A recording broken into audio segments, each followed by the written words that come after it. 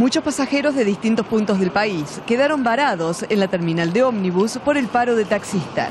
Un miércoles complicado para arribar a la ciudad. ¿Desde dónde venís? De San Luis. ¿Hacia dónde vas? Acá, a Córdoba. Bueno, y te encontraste con este paro de Me taxi. encontré con el panorama este, no tenía idea.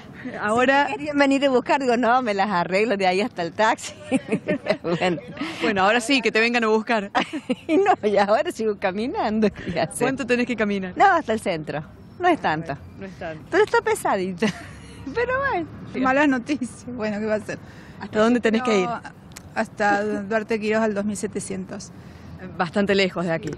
Eh, escúchame, y, pero hay eh, problemas para entrar acá a la terminal. Hay paro de, de taxis. Ah, bueno, listo, porque no sé tampoco dónde tomar micro.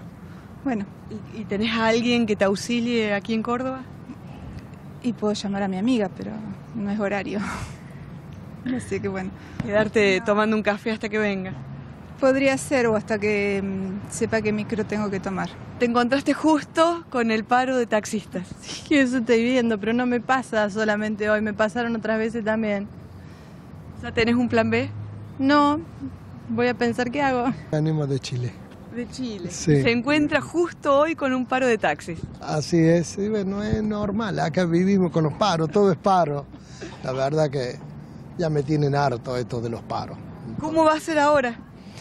Y ahora estoy pensando, eh, me tomaré un colectivo acá adentro de esto que va para Argüello. Me tiene molesto ya, porque ha pasado demasiado tiempo y no se ha conseguido nunca nada con los paros, salvo molestar a la gente.